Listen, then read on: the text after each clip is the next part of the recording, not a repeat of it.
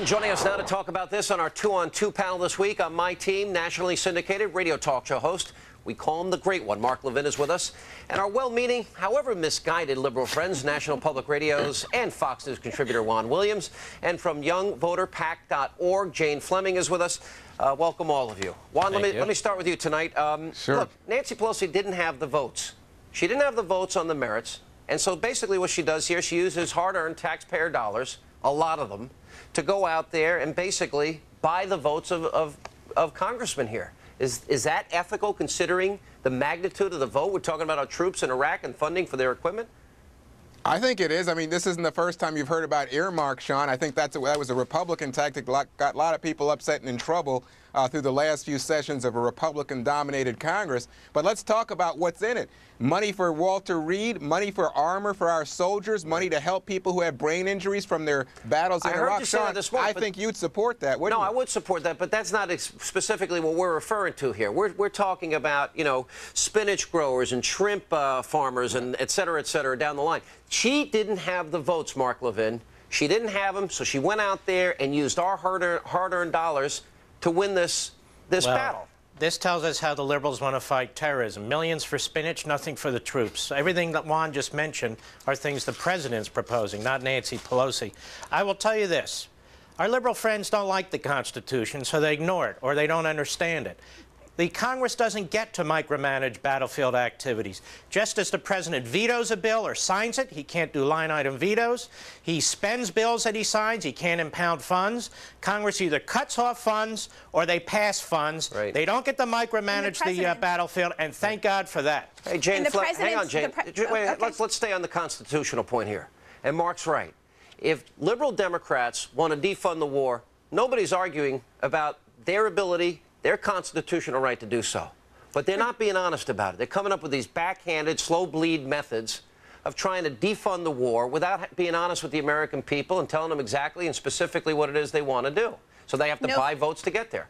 Nobody's trying to defund the war. Nobody bought votes. Let's be very clear. This was an emergency spending bill. This was not just an Iraq spending bill. So, of course, other emergencies were put in there. Well, things why did for they, farmers, why did they things put it in this ranchers. bill? Why didn't they put it in another funding bill?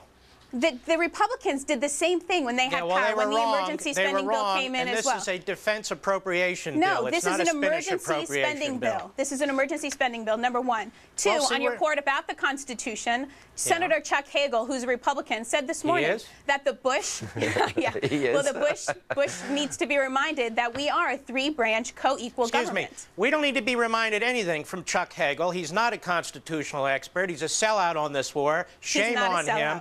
Sellout. I'm He's telling with- you what the standing with the Constitution majority of requires. Americans. Jane, do you think the president can fi- sign line item vetoes today?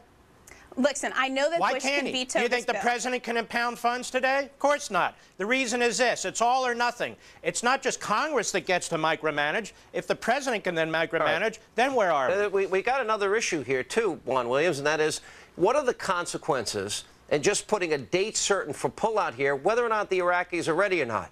That, what does that guarantee? If the troops, if a, the Iraqi military force, the Iraqi police force isn't ready, what does that mean for Iraq? It means that it'll be an opening for Al Qaeda, an opening for Iran. The oil resources and the finances will be there for them.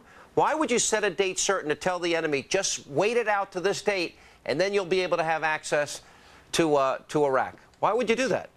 Sean, this is the opposite of cut and run. This is cut and think. Let's think about what we're doing. Let's say, you know what, to the Iraqi people, we've got American young men and women, now more than 3,200 dead over there, and we have many more injured. And here's what you have to do to defend your own country. It's not to say that we are leaving, it's to say that we would end combat operations and possibly even, Okay. you know, And that- surround the and- and border we're and, not keep ready, the that, that would guarantee a defeat, though, Juan. That would A mean that. Al Qaeda and Iran get a safe haven in Iraq if, if they're No, not Sean, ready to Sean, take over their Sean, security. you know what? Sometimes I think you just do this for sh- for show. You're a There's no show guy, here, and, but- and you realize that if we stay there and all we're doing is ha- is being in the cro- in the middle of a crossfire and sectarian, a If we civil don't war, win the which war, is what the the, Pentagon calls Juan, it. It's if- not a matter of losing. Me. It's a If we matter don't of win being the war, the Juan? consequences will be dire. There'll be a humanitarian disaster, Mark Levin, the world. Juan, the overwhelming majority of troops on the field who are putting their lives on the line don't agree with you. That's don't not agree true. With, excuse That is me. absolutely excuse me. true. Come Don't agree with what the Dem. Well, that's why you guys don't like them when they vote.